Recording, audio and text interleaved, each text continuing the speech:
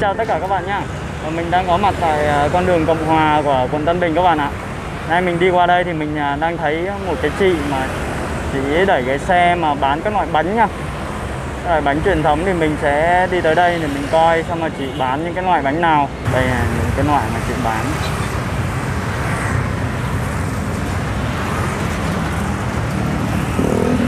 Đó các bạn. Coi chị nướng cái bánh nhé Em chào chị ạ Chị giới thiệu cho em mấy cái loại bánh của chị được không? được chứ không có gì đâu Đây là cái bánh của mì phải không chị? Ừ. Đó. ba cái này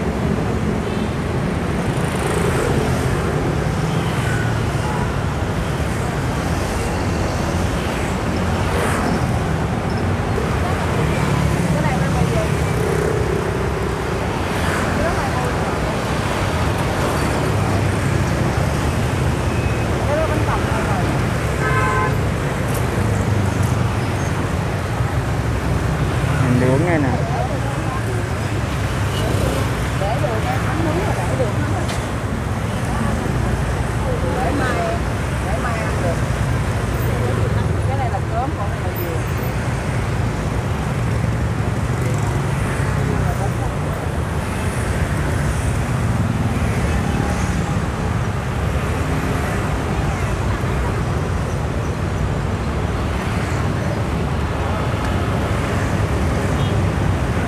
à, Bán bao nhiêu một cái bánh khoai mì đấy chị? ba cái này Ba và hai cái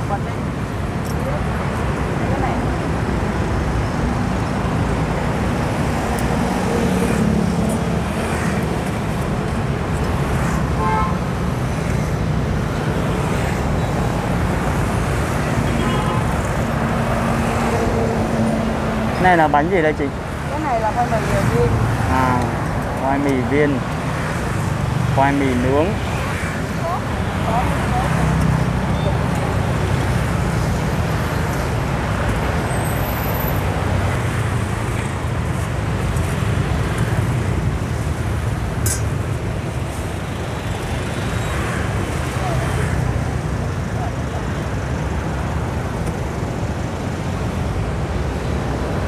Thường là chị đẩy xe là đi từ đâu đến đâu chị? Hàng ngày đó hàng ngày thì chị ờ, đi ra đây chị hàng chị bán chút chiều chị ờ, tối chị bán bên ngoài qua thám á ngay Dạ. từ tới cái cầu dược á À ngay chỗ cái cầu vượt Hoàng Hoa Thám trên này xíu đây Là mình hướng bán ở bên cái hướng mà về chợ Hoàng Hoa Thám hay là về hướng bên kia chị? Ờ, ngay ngay đường Hoàng Hoa Thám với lại Nguyễn Minh Hoàng á em À dạ rồi em biết rồi Bánh phía ngoài này gì chị? đó là cúm dẹp ha cúm Dạ. dẹp trộn á Bốn dẹp trộn Rồi cái này ạ cái này là bánh tằm khoai mì. Dạ. Còn cái này là bánh tằm bột năng. Dạ. Còn cái này là khoai mì quýt dừa là đậu xanh. Khoai mì có dừa xanh một hai.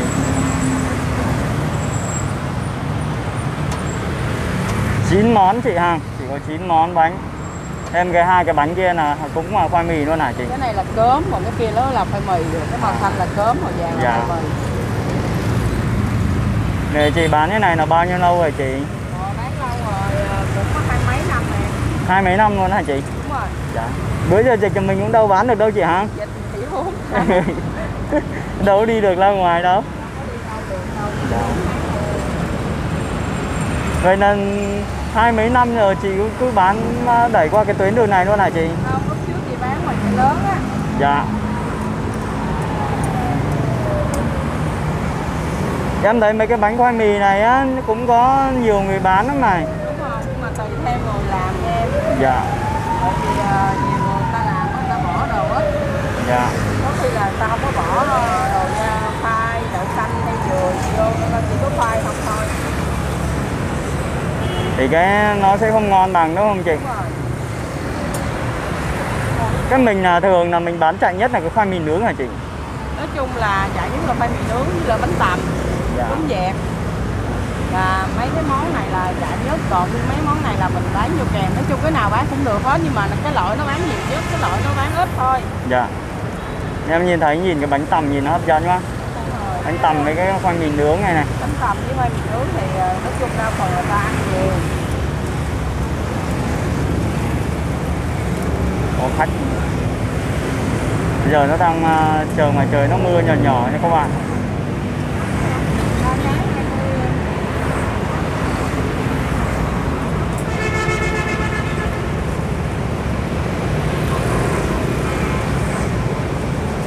Rồi,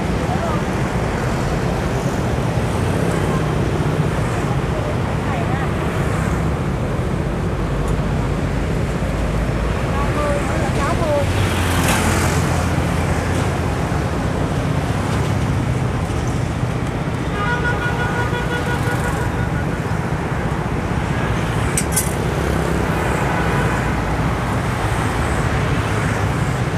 Để thêm một cái ờ, hũ muối mè nữa.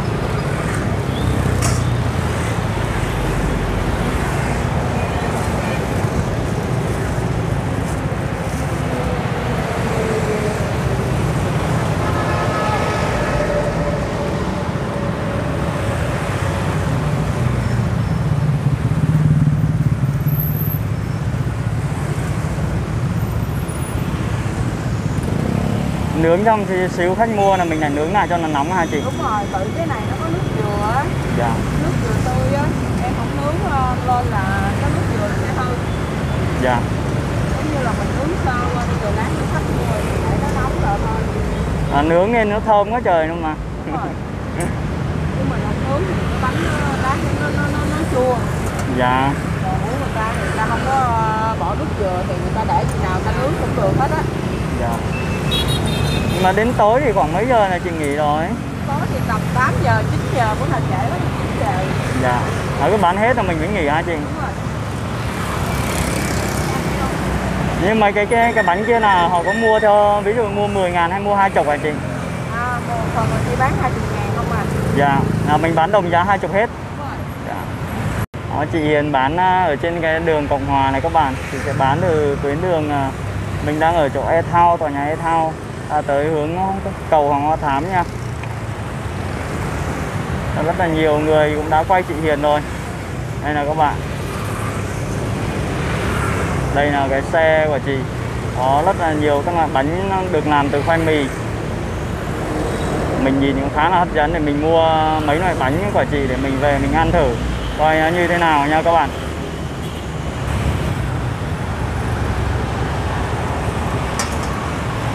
khoai mì bao nhiêu một cái à? ba cái 20 anh.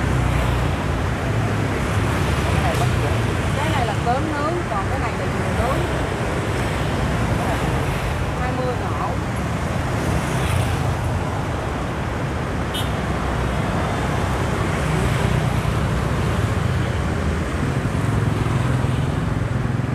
Cái này cơm. chị bán đồng giá 20 ngàn một phần.